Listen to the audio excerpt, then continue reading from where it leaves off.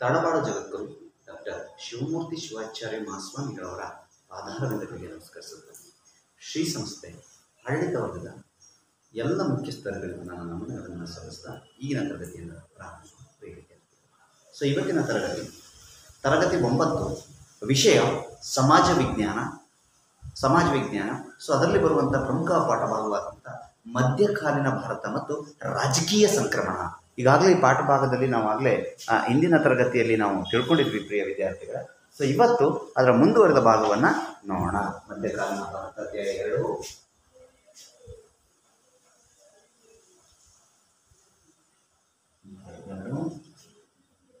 ಮಧ್ಯಕಾಲೀನ ಭಾರತ ಮತ್ತು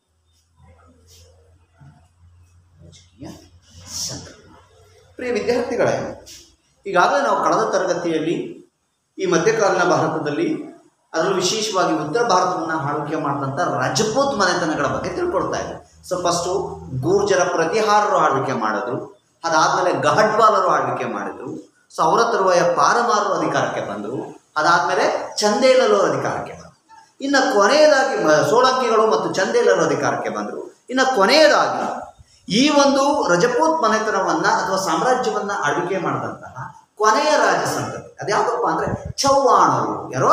ಚೌಹಾಣ್ ರಾಜ ಸಂತತಿ. ಇದು ರಜಪೂತ್ ಆಳ್ವಿಕೆ ಮಾಡಿದಂತಹ ಒಂದು ಕೊನೆಯ ಪ್ರಮುಖವಾದಂತಹ ರಾಜವಂಶಸ್ಥರಾಗಿದ್ದಾರೆ. ಚೌಹಾಣ್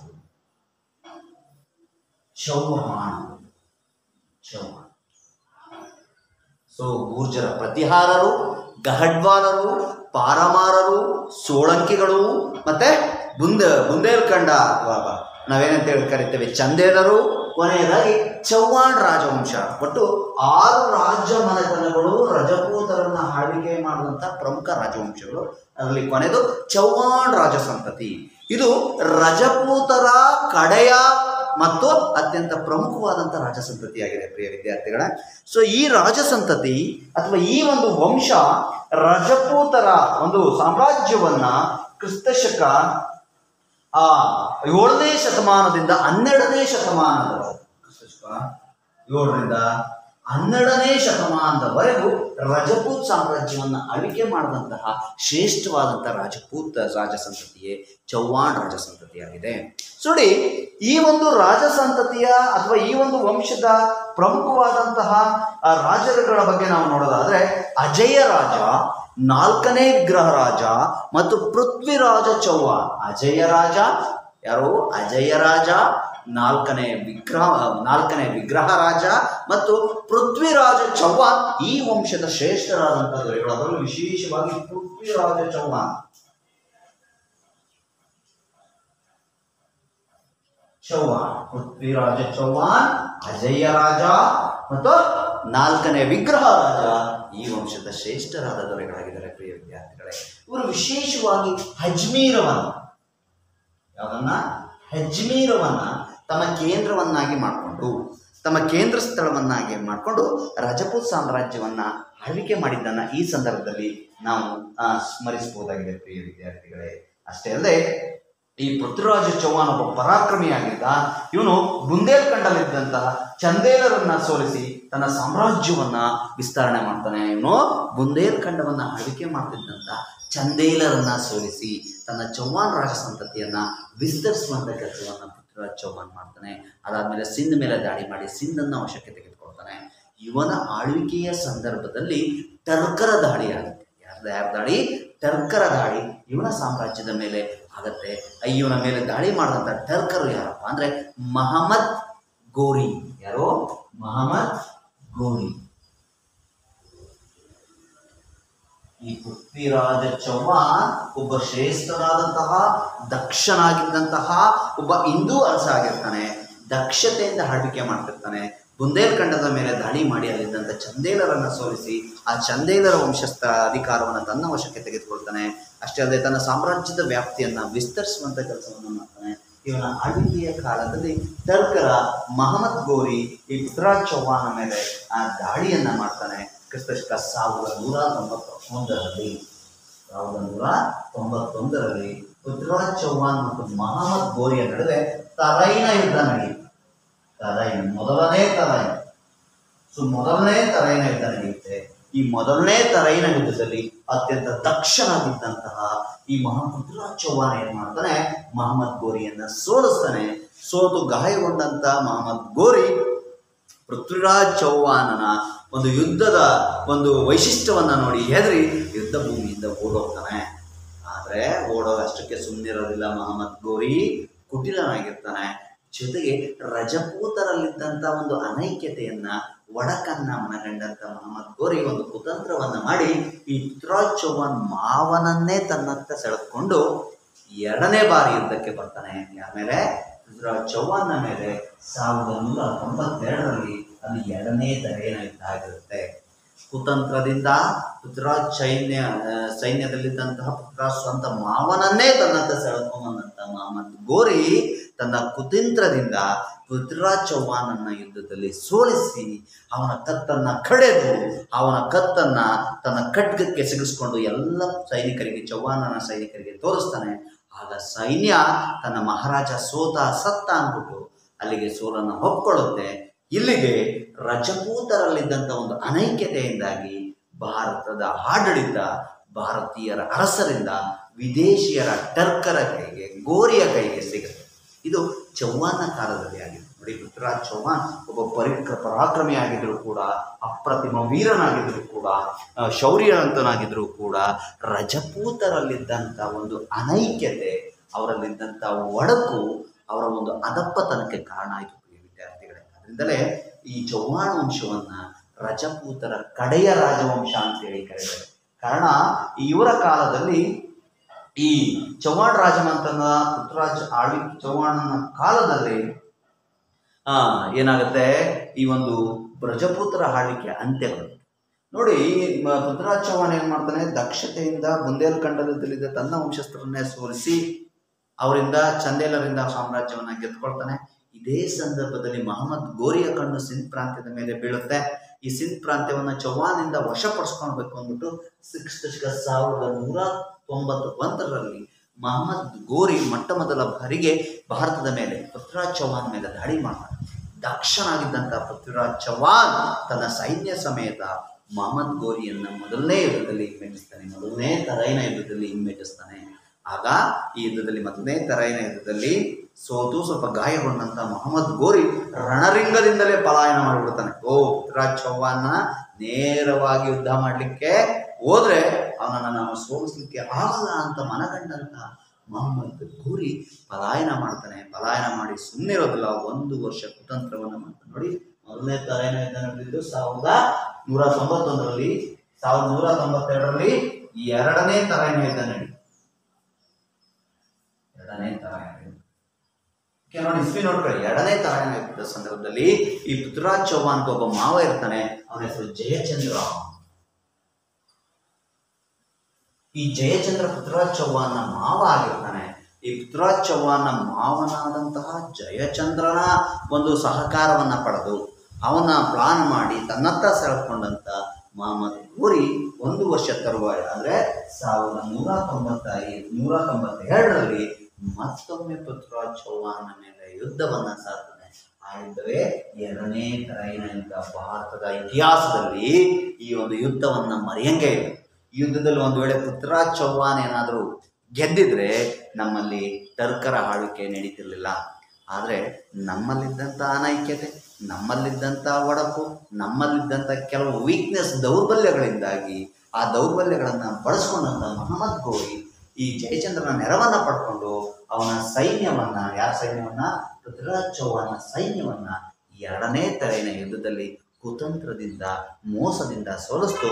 ಇಲ್ಲಿಗೆ ಪೃಥ್ವಿರಾಜ್ ಚೌಹಾನ್ ಯುದ್ಧದಲ್ಲಿ ಸೋಲ್ತಾನೆ. ಸೋತು ಮೊಹಮ್ಮದ್ ಗೋರಿಯ ಒಂದು ಆಕ್ರಮಣಕ್ಕೆ ಅವರ ವಶಕ್ಕೆ ಒಳಗಾಗ್ತಾನೆ. ಕೊನೆಗೆ ಮೊಹಮ್ಮದ್ ಗೋರಿ ಈ ಪೃಥ್ವಿರಾಜ್ ಈ ರಣರಂಗದಲ್ಲೇ ಕೊಲೆ ಮಾಡ್ತಾನೆ. ಇಲ್ಲಿಗೆ ಚೌಹಾನ್ನ ಸೈನ್ಯ ಸೋಲನ್ನು ಒಪ್ಕೊಳ್ಳುತ್ತೆ ಎರಡನೇ ತಲೆಯ ಯುದ್ಧ ಮುಕ್ತಾಯವಾಗುತ್ತೆ. ಇಲ್ಲಿಗೆ ಭಾರತದ ಹಿಂದೂ ಸಾಮ್ರಾಜ್ಯ ವಿದೇಶಿಯರ ಅಥವಾ ಟರ್ಕರ ಮುಸಲ್ಮಾನರ ಅಧೀನಕ್ಕೆ ಬರುತ್ತೆ. ಇಲ್ಲಿಗೆ ರಜಪೂತರ ಆರು ರಾಜ ಸಂತತಿಗಳು ಕೂಡ ತಮ್ಮ ಅಧಿಕಾರವನ್ನ ಕಳ್ಕೊಳ್ತವೆ ವಿದ್ಯಾರ್ಥಿಗಳೇ. ಸೊ ಒಂದು ಗುರ್ಜರ ಪ್ರತಿಹಾರ ಬರುತ್ತಿದ್ರು ಅವರಾದ್ಮೇಲೆ ಗಹಡ್ವಾಲರು ಬಂದರು, ಪಾರಮಾರರು ಬಂದರು, ಸೋಳಂಕಿಗಳು ಬಂದರು. ಚಂದೇಲರು ಬಂತು.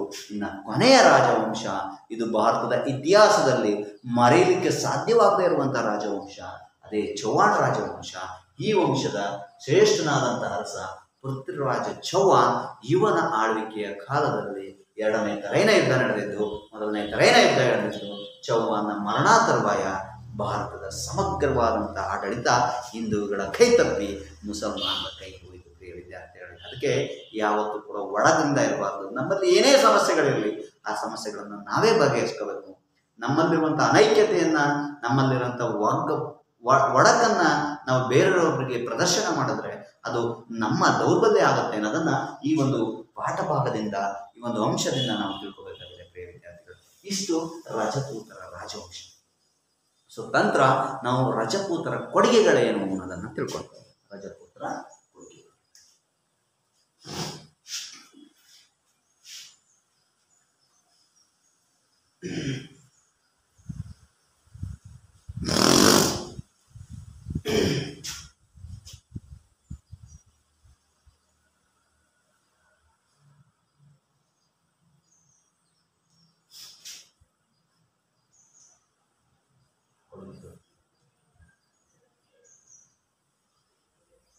ಸುಮಾರು ವರ್ಷಗಳ ಆಳ್ವಿಕೆ ಮಾಡಿದಂಥ ರಜಪೂತರು ಭಾರತದ ಕಲಾ ಕ್ಷೇತ್ರಕ್ಕೆ ಸಾಹಿತ್ಯ ಕ್ಷೇತ್ರಕ್ಕೆ ಶಿಕ್ಷಣ ಕ್ಷೇತ್ರಕ್ಕೆ ವಿವಿಧ ಎಲ್ಲ ಕ್ಷೇತ್ರಗಳಿಗೂ ಕೂಡ ತಮ್ಮದೇ ಆದಂಥ ಆ, ಕೊಡುಗೆಗಳನ್ನು ನೀಡಿದ್ದನ್ನು ನಾವು ಈ ಸಂದರ್ಭದಲ್ಲಿ ಸ್ಮರಿಸಬಹುದಾಗಿದೆ ಪ್ರಿಯ ವಿದ್ಯಾರ್ಥಿಗಳೇ. ನೋಡಿ, ಈ ಕಲೆಗೆ ವಾಸ್ತುಶಿಲ್ಪಕ್ಕಿಂತ ಇವರು ಅತಿ ಹೆಚ್ಚು ಸಾಹಿತ್ಯ ಕ್ಷೇತ್ರ ಅಪಾರವಾದಂಥ ಕೊಡುಗೆಗಳನ್ನು ಕೊಟ್ಟರು ಕೂತರಸರು ಸಾಹಿತ್ಯ ಕ್ಷೇತ್ರಕ್ಕೆ ಕೊಟ್ಟಂಥ ಕೊಡುಗೆ ಅಮೋಘವಾದದ್ದು, ಅದ್ಭುತವಾದದ್ದು, ಅಸಂಖ್ಯವಾದದ್ದು ಅಂತ ನಾನು ಈ ಸಂದರ್ಭದಲ್ಲಿ ನಾವು ಸ್ಮರಿಸಬಹುದಾಗಿದೆ ಕಾರಣ, ಈ ರಜಪೂತರ ಬಹುತೇಕ ರಾಜರು ಇದನ್ನ ಭೋಜ ಇರ್ಬೋದು, ಮೂಂಜ ಇರ್ಬೋದು ಪೃಥ್ವಿರಾಜ, ರಾಸ್ ಪೃಥ್ವಿರಾಜ ಚೌಹಾಣ್ ಇರ್ಬೋದು, ಮುಂತಾದ ಕೆಲವು ಮಹಾನ್ ರಾಜರು ಸ್ವತಃ ಕವಿಗಳಾಗಿದ್ರು, ಸಾಹಿತ್ಯ ಸಾಹಿತ್ಯಾಸಕ್ತರಾಗಿದ್ರು, ಸಾಹಿತ್ಯ ಪ್ರೇಮಿಗಳಾಗಿದ್ರು, ತಮ್ಮದೇ ಆದಂಥ ಕೃತಿಗಳನ್ನು ರಚನೆ ಮಾಡಿದ್ರು. ಕೆಲವೊಂದು ಗ್ರಂಥಗಳನ್ನು ಇವರು ರಚನೆ ಮಾಡಿದ್ದನ್ನು ನಾವು ಈ ಸಂದರ್ಭದಲ್ಲಿ ನಾವು ಸ್ಮರಿಸ್ಬೋದಾಗಿದೆ, ಪ್ರಿಯ ವಿದ್ಯಾರ್ಥಿಗಳೇ.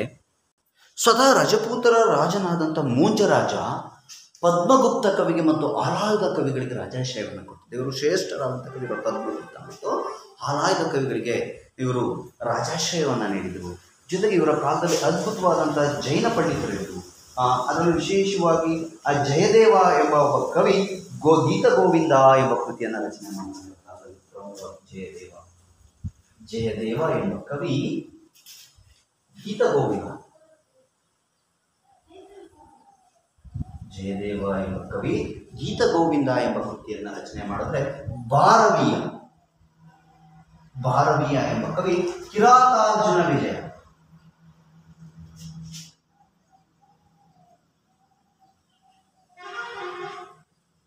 ಕಿರಾತಾರ್ಜುನೆಯ ವಿಜಯ ಎಂಬ ಕೃತಿಗಳನ್ನು ರಚನೆ ಮಾಡ್ತಾನೆ ಅಷ್ಟೇ ಅಲ್ಲದೆ ಮೂಂಜ ಕವಿಗಾಗಲೇ ಹೇಳಿದ್ದೀನಿ, ಆಲಾಯುಧ, ಪದ್ಮಗುಪ್ತ ಕವಿಗಳಿಗೆ ರಾಜಾಶ್ರಯವನ್ನು ನೀಡಿದ್ರೆ ಜಯದೇವ ಎಂಬ ಕವಿ ಏನು ಮಾಡ್ತಾನೆ? ಗೀತ ಗೋವಿಂದ ಎಂಬ ಕೃತಿಯನ್ನು ರಚನೆ ಮಾಡಿದ್ರೆ ಭಾರವಿ ಕಿರಾತಾರ್ಜುನ ವಿಜಯ ಎಂಬ ಕೃತಿಯನ್ನು ರಚನೆ ಮಾಡ್ತಾನೆ. ಜೊತೆಗೆ ಕಲ್ಲಣ ಎಂಬ ಕವಿ ಏನು ಮಾಡ್ತಾನೆ? ಕಲ್ಲಣನ ರಾಜತರಂಗಿಣಿ. ಕಲ್ಲಣ ಎಂಬ ಕವಿ ಕಲ್ಲಣ. ಈತ ರಾಜತರಂಗಿಣಿ. ಕಲ್ಲಣ ರಾಜತರಂಗಿಣಿ ಎಂಬ ಕೃತಿಯನ್ನ ಕಲ್ಲಣ ರಾಜತರಂಗಿಣಿ ಈತನು ಕೂಡ ರಚನೆ ಮಾಡ್ತಾನೆ. ಅದೇ ರೀತಿ ಚಾಂದ್ ಬರ್ದಾಯಿ ಅಂತ ಒಬ್ಬ ಕವಿ ಇರ್ತಾನೆ. ಅವನು ಪೃಥ್ವಿರಾಜರಾಸು ಎಂಬ ಕೃತಿಯನ್ನ ರಚನೆ ಮಾಡ್ತಾನೆ. ಚಾಂದ್ ಬರ್ದಾಯಿ.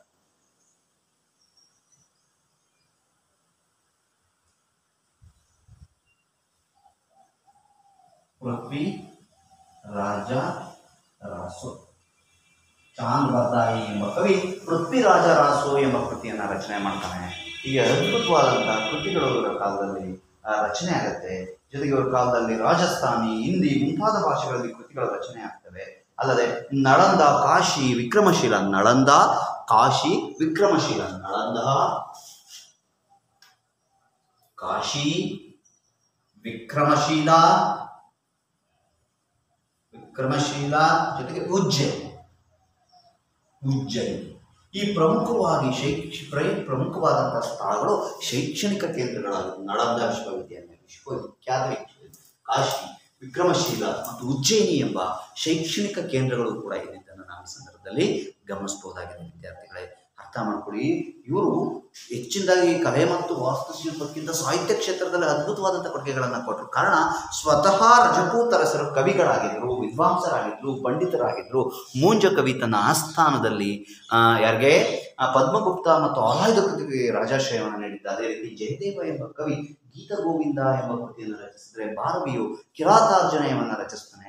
ಅದೇ ರೀತಿ ಕಲ್ಲಣ ರಾಜತರಂಗಿಣಿ ಚಾಂದ್ ಬಂದಾಯಿ ಪೃಥ್ವಿರಾಜ ರಾಸು ಹೀಗೆ ಅದ್ಭುತವಾದಂಥ ಆ ಸಾಹಿತ್ಯಿಕ ಪ್ರಕಾರಗಳನ್ನು ಇವರು ರಚನೆ ಮಾಡ್ತಾರೆ. ಜೊತೆಗೆ ಇವರ ಕಾಲದಲ್ಲಿ ನಳಂದದಲ್ಲಿ, ಕಾಶಿಯಲ್ಲಿ, ವಿಕ್ರಮಶೀಲದಲ್ಲಿ ಮತ್ತು ಉಜ್ಜಯಿನಿಯಲ್ಲಿ ಶೈಕ್ಷಣಿಕ ಕೇಂದ್ರಗಳು ಇದ್ದಿದ್ದನ್ನು ಕೂಡ ನಾವು ಈ ಸಂದರ್ಭದಲ್ಲಿ ಸ್ಮರಿಸಬಹುದಾಗಿದೆ ಪ್ರಿಯ ವಿದ್ಯಾರ್ಥಿಗಳೇ. ಅಷ್ಟೇ ಅಲ್ಲದೆ ರಜಪೂತ್ ಅರಸರು ಉತ್ತರ ಭಾರತದ ಚಿತ್ತೋಡ್ನಲ್ಲಿ, ಮಾಂಡುವಿನಲ್ಲಿ, ರಣತಂಬೂರ್, ಜೈಪುರ್, ಗ್ವಾಲಿಯರ್ ಮುಂತಾದ ಕಡೆ ವಿಶೇಷವಾದಂಥ ಕೋಟೆಗಳನ್ನು ರಣತಂಬೂರಿನಲ್ಲಿ ಮೇವಾಡ್ನಲ್ಲಿ ಚಿತ್ತೂರಿನಲ್ಲಿ ಗ್ವಾಲಿಯರ್ನಲ್ಲಿ ಕೋಟೆಗಳನ್ನು ನಿರ್ಮಾಣ ಮಾಡಿದ್ದಾರೆ. ಹಾಗೂ ವಿಶೇಷವಾಗಿ ರಣತಂಬೂರಿನಲ್ಲಿ ಎಲ್ಲಿ?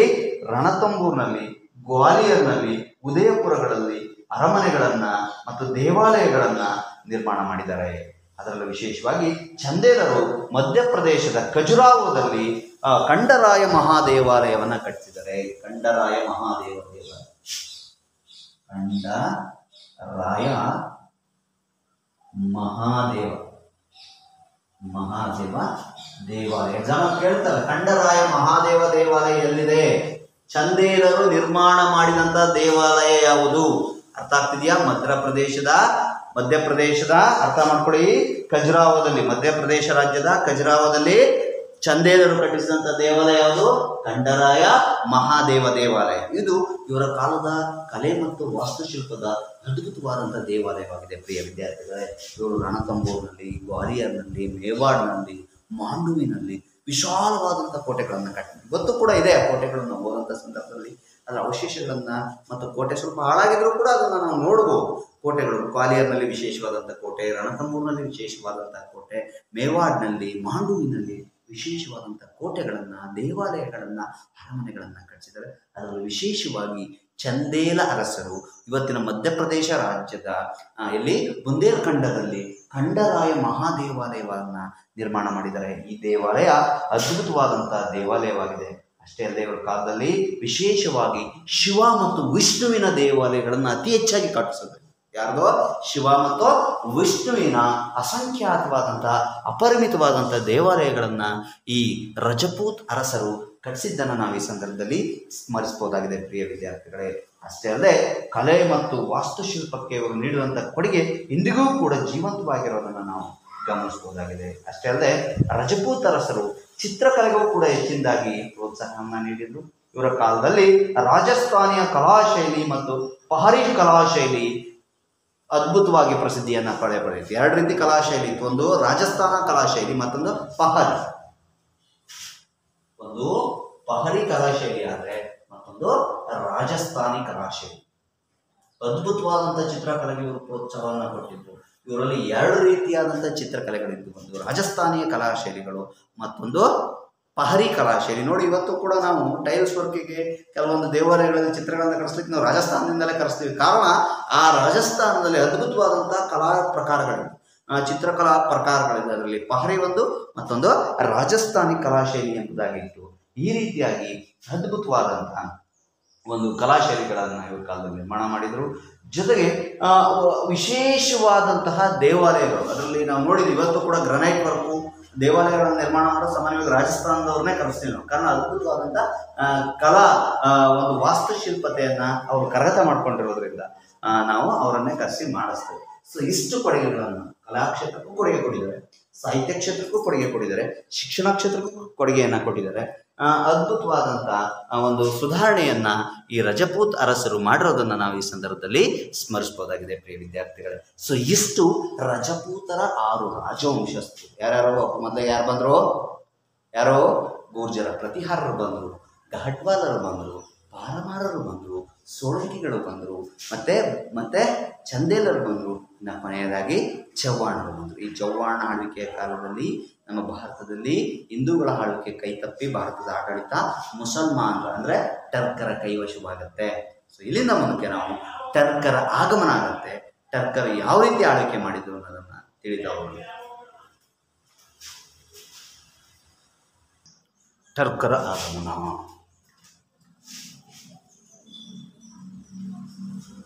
ನೋಡಿ, ಇಲ್ಲಿವರೆಗೂ ರಜಪೂತರ ವಶದಲ್ಲಿ, ಹಿಂದೂಗಳ ವಶದಲ್ಲಿ ಭಾರತ ಇತ್ತು. ಇಲ್ಲಿಂದ ಮುಂದಕ್ಕೆ ಟರ್ಕರು, ಮುಸಲ್ಮಾನರು ನಮ್ಮ ದೇಶವನ್ನು ಆಡುತ್ತೆ.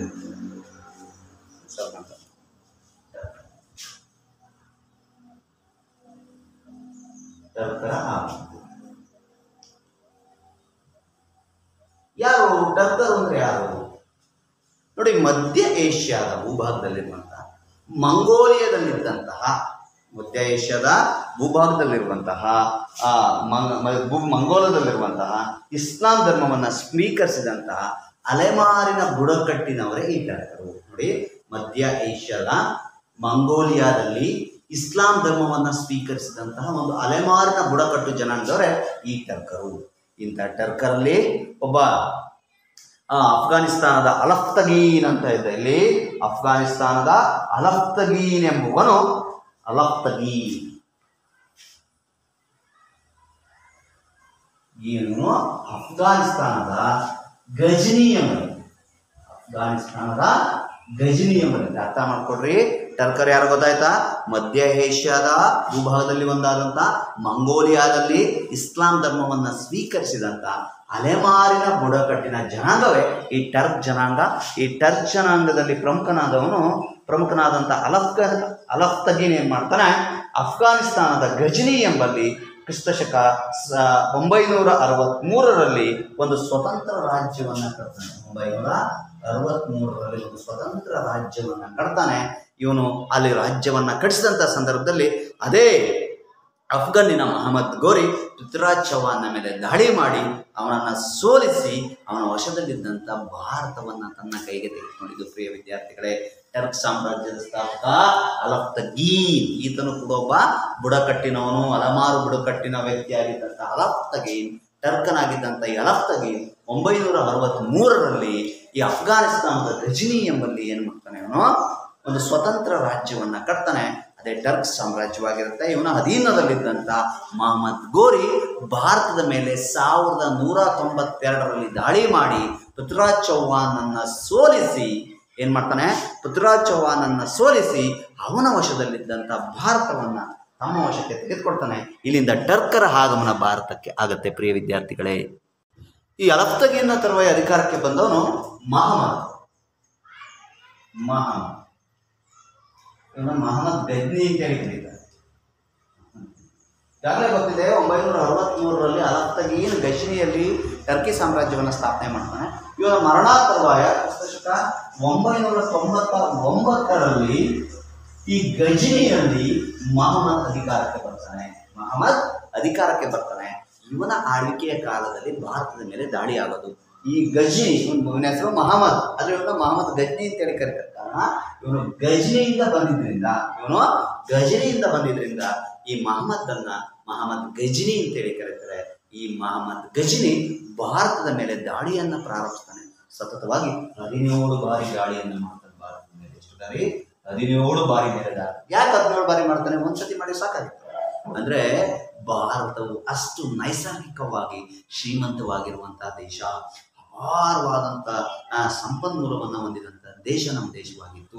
ಈ ದೇಶದ ಸಂಪತ್ತನ್ನು ಲೂಟಿ ಮಾಡಲಿಕ್ಕೆ ಒಂದೆರಡು ಬಾರಿ ಹತ್ತು ಬಾರಿ ಬಂದು ಸಾಧ್ಯ ಆಗಲಿಲ್ಲ ನಮ್ಮ ರಜನಿ ಹದಿನೇಳು ಬಾರಿ ಭಾರತದ ಮೇಲೆ ದಾಳಿ ಮಾಡಿ ಇಲ್ಲಿದ್ದಂತಹ ಅಗ್ರಗಣ್ಯವಾದಂಥ ಸಂಪತ್ತನ್ನು ದೊರೆತಾನೆ ಇವನು ಗುಜರಾತ್ನ ಸೌರಾಷ್ಟ್ರದಲ್ಲಿರುವಂತಹ ಸೋಮನಾಥ ದೇವಾಲಯದ ಮೇಲೆ ದಾಳಿ ಮಾಡಿ.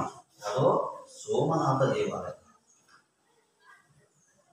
ಈತ ಭೀಮಾ, ರಜಪೂತರ ಭೀಮ ಆಳ್ವಿಕೆ ಮಾಡುವಂಥ ಸಂದರ್ಭದಲ್ಲಿ ಮೊಹಮ್ಮದ್ ಗಜ್ನಿ ಗುಜರಾತ್ನ ಸೋಮನಾಥ ದೇವಾಲಯದ ಮೇಲೆ ದಾಳಿ ಮಾಡಿ ಆ ದೇವಾಲಯದಲ್ಲಿದ್ದಂಥ ಚಿನ್ನ ಲೇಪಿತವಾದಂಥ ಕಂಬಗಳನ್ನು, ಚಿನ್ನದ ಆಭರಣಗಳನ್ನು ಸಂಪೂರ್ಣವಾಗಿ ಲೂಟಿ ಮಾಡ್ತಾನೆ ಸುಮಾರು ಹದಿನೇಳು ಬಾರಿ ಭಾರತದ ಮೇಲೆ ದಾಳಿ ಮಾಡಿ ಭಾರತದ ಸಮಗ್ರವಾದಂಥ ಸಂಪತ್ತನ್ನು ದೋಚುವಂಥ ಕೆಲಸವನ್ನು ಮೊಹಮ್ಮದ್ ಗಜ್ನಿ ಮಾಡಿದ್ದನ್ನು ನಾವು ಈ ಸಂದರ್ಭದಲ್ಲಿ ಸ್ಮರಿಸಬಹುದಾಗಿದೆ ಪ್ರಿಯ ಇವನ ಈ ದಾಳಿ ದಾಳಿ, ಮೊಹಮ್ಮದ್ ಗಜನಿಯ ದಾಳಿ ಭವಿಷ್ಯದಲ್ಲಿದ್ದಂಥ ಟರ್ಕರ ದಾಳಿಗೆ ನಾಂದಿಯಾಗಿದ್ದನ್ನ ಕೂಡ ನಾವು ಈ ಸಂದರ್ಭದಲ್ಲಿ ಗಮನಿಸಬಹುದಾಗಿದೆ ವಿದ್ಯಾರ್ಥಿಗಳೇ. ನೋಡಿ, ಅಲಫ್ತ ಕ್ರಿಸ್ತಶಕ ಒಂಬೈನೂರ ಅರವತ್ತ ಮೂರರಲ್ಲಿ ಗಜನಿಯಲ್ಲಿ ಟರ್ಕ್ ಸಾಮ್ರಾಜ್ಯವನ್ನು ಸ್ಥಾಪನೆ ಮಾಡ್ತಾನೆ. ಇವರ ಮರಣಾಂತರವಾಯ ಗಜನಿಯಲ್ಲಿ ಕ್ರಿಸ್ತಶಕ ಒಂಬೈನೂರ ತೊಂಬತ್ತೊಂಬತ್ತರಲ್ಲಿ ಮಹಮ್ಮದ್ ಅಧಿಕಾರಕ್ಕೆ ಬರ್ತಾನೆ. ಈ ಮಹಮ್ಮದ್ ಗಜನಿಯಿಂದ ಬಂದಿದ್ದರಿಂದ ಇವನಿಗೆ ಮಹಮ್ಮದ್ ಗಜ್ನಿ ಎಂಬ ಹೆಸರಿಲಾಯಿತು ಈ ಮಹಮ್ಮದ್ ಗಜ್ನಿ ಭಾರತದ ಮೇಲೆ ಹದಿನೇಳು ಬಾರಿ ದಾಳಿ ಮಾಡಿದ ಎಷ್ಟು ಬಾರಿ? ಹದಿನೇಳು ಬಾರಿ ದಾಳಿ ಮಾಡಿರ್ತಾನೆ ಮಹಮ್ಮದ್ ಗಜನಿ, ಹದಿನೇಳು ಬಾರಿ ದಾಳಿ ಮಾಡಿದಂಥ ಈ ಮಹಮ್ಮದ್ ಗಜನಿ ಭಾರತದ ಸಂಪತ್ತನ್ನು ಲೂಟಿ ಹೊಡಿತಾನೆ. ಇವನ ಈ ದಾಳಿ ಭವಿಷ್ಯದಲ್ಲಿ ಭಾರತದ ಮೇಲೆ ಟರ್ಕರ ದಾಳಿಗೆ ಕಾರಣ ಆಗುತ್ತೆ, ಪ್ರೇರಣೆ ಆಗುತ್ತೆ, ಪ್ರೋತ್ಸಾಹ ಆಗುತ್ತೆ, ಪ್ರಿಯ ವಿದ್ಯಾರ್ಥಿಗಳೇ. ಇವನ ದಾಳಿಯಿಂದಾಗಿ ಭಾರತದ ಸಮಗ್ರ ಸಂಪತ್ತು ಈ ಟರ್ಕರ ಪಾಲಾಗಿದ್ದನ್ನು ನಾವು ಈ ಸಂದರ್ಭದಲ್ಲಿ ನಾವು ಗಮನಿಸಬಹುದಾಗಿದೆ. ಇವನ ತರುವಾಯ ಮತ್ತೊಬ್ಬ ಟರ್ಕನು ಭಾರತದಲ್ಲಿ ದಾಳಿ ಬರ್ತಾನೆ ಅವನು ಯಾರು ಅಲ್ಲ? ಮೊಹಮ್ಮದ್ ಗೋಲ್. ಮೊಹಮ್ಮದ್ ಗೋಲ್.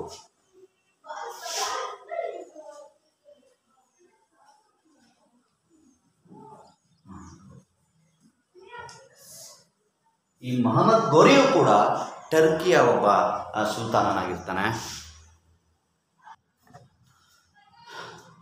ಮೊಹಮ್ಮದ್ ಗೋರಿ ಅಫ್, ಅಫ್ಘಾನಿಸ್ತಾನದಲ್ಲಿ ಈ ಗಜನಿ ಸಾಮ್ರಾಜ್ಯದ ತರುವಾಯ ಮತ್ತೊಂದು ಸಂತತಿ ಅಥವಾ ಮತ್ತೊಂದು ಒಂದು ವಂಶ ಪ್ರಾರಂಭವಾಗುತ್ತೆ. ಅದೇ ಗೋರ್ ಸಂತತಿ ಅಂತೇಳಿ ಕರೀತಾರೆ ನೋಡಿ, ಈ ಸಂತತಿಯಲ್ಲಿ ಗಿಯಾಜುದ್ದೀನ್ ಮಹಮ್ಮದ್ ಎಂಬುವನು ಗೋರ್ ಸಾಮ್ರಾಜ್ಯವನ್ನ ಕಟ್ತಾನೆ. ಎಲ್ಲಿ? ಅಫ್ಘಾನಿಸ್ತಾನದಲ್ಲಿ. ಗಿಯಾಜುದ್ದೀನ್ ಮಹಮ್ಮದ್.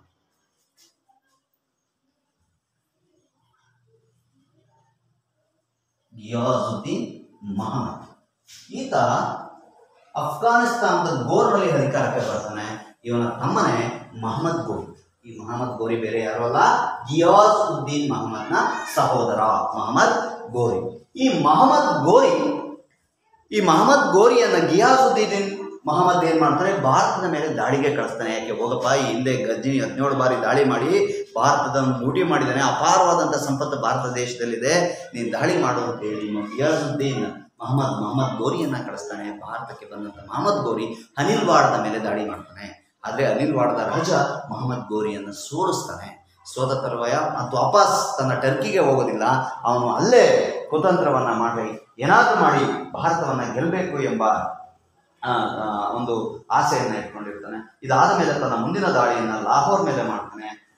ಈ ಲಾಹೋರನ್ನು ಆ ಸಂದರ್ಭದಲ್ಲಿ ಖುಸ್ರೋ ಮಲ್ಲಿಕ್ ಮಾಡ್ತಿರ್ತಾನೆ. ಲಾಹೋರ್ ಮೇಲೆ ದಾಳಿ ಮಾಡ್ತಾನೆ. ಲಾಹೋರನ್ನ ಆ ಸಂದರ್ಭದಲ್ಲಿ ಖುಸ್ರೋ ಮಲಿಕ್ ಆಳ್ವಿಕೆ ಮಾಡ್ತಿರ್ತಾನೆ. ಆದರೆ ಖುಸ್ರೋ ಮಲಿಕ್ನ ಮಹಮ್ಮದ್ ಗೋರಿ ಸೋಲ್ತ, ಸೋಲಿಸ್ತಾನೆ. ಸೋಲಿಸಿ ಖುಸ್ರೋ ಮಲಿಕ್ನ ಕೈಲಿದ್ದಂಥ ಲಾಹೋರನ್ನು ತನ್ನ ವಶಕ್ಕೆ ತೆಗೆದುಕೊಳ್ತಾನೆ ಇದೇ ಸಂದರ್ಭದಲ್ಲಿ ಮಹಮ್ಮದ್ ಗೋರಿಯ ಕಣ್ಣು ಬಿದ್ದಿದ್ದು ರಜಪೂತರ ಸಾಮ್ರಾಜ್ಯದ ಮೇಲೆ ಅಜ್ಮೀರದ ಮೇಲೆ ಕಣ್ಣು ಬಿಡುತ್ತೆ ಆ ಸಂದರ್ಭದಲ್ಲಿ ರಜಪೂತ್ ಸಾಮ್ರಾಜ್ಯವನ್ನು ಆಳ್ವಿಕೆ ಮಾಡ್ತಿದ್ದವನು ಬೇರೆ ಯಾರು ಅಲ್ಲ. ಚೌಹಾಣ್ ವಂಶಸ್ಥನಾದಂತಹ ಯಾರೋ? ಪೃಥ್ವಿರಾಜ ಚವ್ಹಾಣ್. ಆ ಸಂದರ್ಭದಲ್ಲಿ ಪೃಥ್ವಿರಾಜ ಚೌಹಾನ್ ರಜಪೂತ್ ಸಾಮ್ರಾಜ್ಯವನ್ನು ಆಳ್ವಿಕೆ ಮಾಡ್ತಿರ್ತಾನೆ. ಆಗ ಮಹಮ್ಮದ್ ಗೋರಿ ಏನಾದರೂ ಮಾಡಿ ಇವನ ಕೈಯಿಂದ ಚೌಹಾನ್ ಸಾಮ್ರಾಜ್ಯವನ್ನು ಕಚ್ಕೋಬೇಕು ಅಂದ್ಬಿಟ್ಟು ಕ್ರಿಸ್ತಶಕ ಸಾವಿರದ ನೂರ ತೊಂಬತ್ತ ಒಂದರಲ್ಲಿ ಈ ಮಹಮ್ಮದ್ ಗೋರಿ ಏನ್ ಮಾಡ್ತಾನೆ?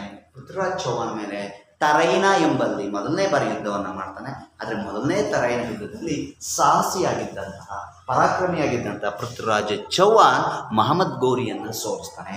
ಸೋತು ಗಾಯಗೊಂಡವನಂತಾದಂಥ ಮಹಮ್ಮದ್ ಗೋರಿ ಏನಾದರೂ ಮಾಡಿ ಪೃಥ್ವಿರಾಜನನ್ನು ಗೆಲ್ಲಬೇಕು ಅವನ ಸಾಮ್ರಾಜ್ಯವನ್ನು ಕಸ್ಕೋಬೇಕು ಅಂತ ಛಲವನ್ನು ಇಟ್ಕೊಳ್ತಾನೆ.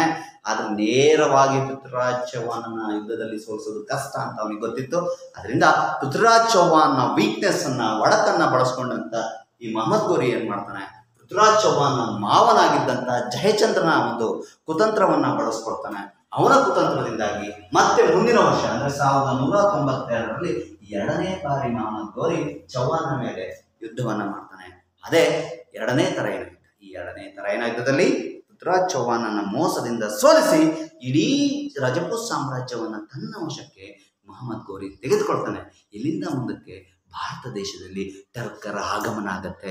ಭಾರತದ ರಾಜಕೀಯ ಕ್ಷೇತ್ರದ ಮೇಲೆ ಅಗಾಧವಾದಂಥ ದಾಳಿಯನ್ನ, ಪರಿಣಾಮವನ್ನ ಎರಡನೇ, ಆ ತರೈನ ಯುದ್ಧ ಮಾಡಿದ್ದನ್ನು ನಾವು ಈ ಸಂದರ್ಭದಲ್ಲಿ ಸ್ಮರಿಸಬಹುದಾಗಿದೆ ಒಂದು ವೇಳೆ ಎರಡನೇ ತರೈನ ಯುದ್ಧದಲ್ಲಿ ಪೃಥ್ವಿರಾಜ್ ಚೌಹಾಣ್ ಏನಾದ್ರು ಗೆದ್ದಿದ್ರೆ ಮಹಮ್ಮದ್ ಗೋರಿಗೆ ಅಥವಾ ಟರ್ಕರಿಗೆ ಭಾರತದ ನೆಲದಲ್ಲಿ ಆಡಳಿತ ಮಾಡಲಿಕ್ಕೆ ಅವಕಾಶ ಸಿಗ್ತಿರ್ಲಿಲ್ಲ. ಆದರೆ ನಮ್ಮಲ್ಲಿದ್ದಂಥ ಅನೈಕ್ಯತೆ, ಒಡಕು ಒಗ್ಗಟ್ಟಿಲ್ಲದೆ ಇರೋದು ವಿದೇಶಿಯರ ದಾಳಿಗೆ ನಮ್ಮ ದೇಶ ತುತ್ತಾಗಕ್ಕೆ ಪ್ರಮುಖವಾದಂಥ ಕಾರಣ ಆಯಿತು ಪ್ರಿಯ ವಿದ್ಯಾರ್ಥಿಗಳು. ಸೊ ಇಷ್ಟು ಟರ್ಕರ ಆಗಮನ. ಮೊಹಮ್ಮದ್ ಗಜ್ನಿ, ಮೊಹಮ್ಮದ್ ಗೋರಿ. ಮೊಹಮ್ಮದ್ ಗಜ್ನಿ ಹದಿನೇಳು ಬಾರಿ ಭಾರತದ ಮೇಲೆ ದಾಳಿ ಮಾಡ್ತಾನೆ. ಮೊಹಮ್ಮದ್ ಗೋರಿ ಭಾರತದ ಇತಿಹಾಸವನ್ನು ಬುಡಮೇಲು ಮಾಡುವಂಥ ಕೆಲಸವನ್ನು ಮಾಡ್ತಾನೆ. ಹೆಂಗೆ? ಮೊಟ್ಟ ಮೊದಲ ಬಾರಿಗೆ ಭಾರತದಲ್ಲಿ ಮುಸಲ್ಮಾನ್ ಸಾಮ್ರಾಜ್ಯವನ್ನು ಸ್ಥಾಪಿಸಲಿಕ್ಕೆ ಅವಕಾಶವನ್ನು ಮಾಡ್ತಾನೆ.